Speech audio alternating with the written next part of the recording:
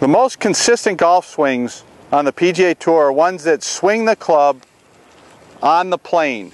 And the plane is established by how you set the club at address. The angle that you set the club at address creates the swing plane for that particular golf swing. The angle that you set the club at address is going to be different with every club because every club is, has different lengths and different lies to it.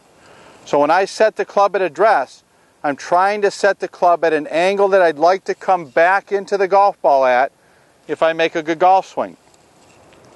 The plane is established at address, so if you picture the club swinging up that plane line from ground level to hip level, then move above that plane line but stay parallel to it in the second part of your backswing, that's the swing that's the most consistent to make repetitive golf swings to hit straight shots.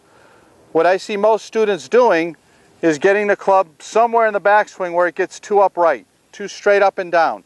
When it gets too straight up and down, you have a tendency to block, and that's where the slice occurs from because the face is too open at impact. So a good practice swing for that person is to hold the club up about knee level and get the club to swing on more of an arc or a circle back and through.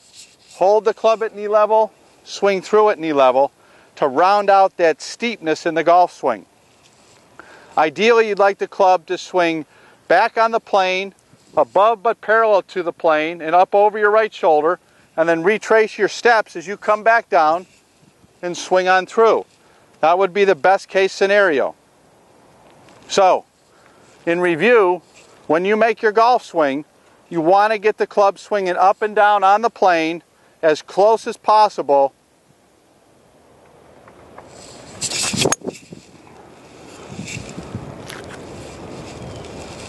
to hit your most repetitive straight shots and it'll make your rounds a heck of a lot easier.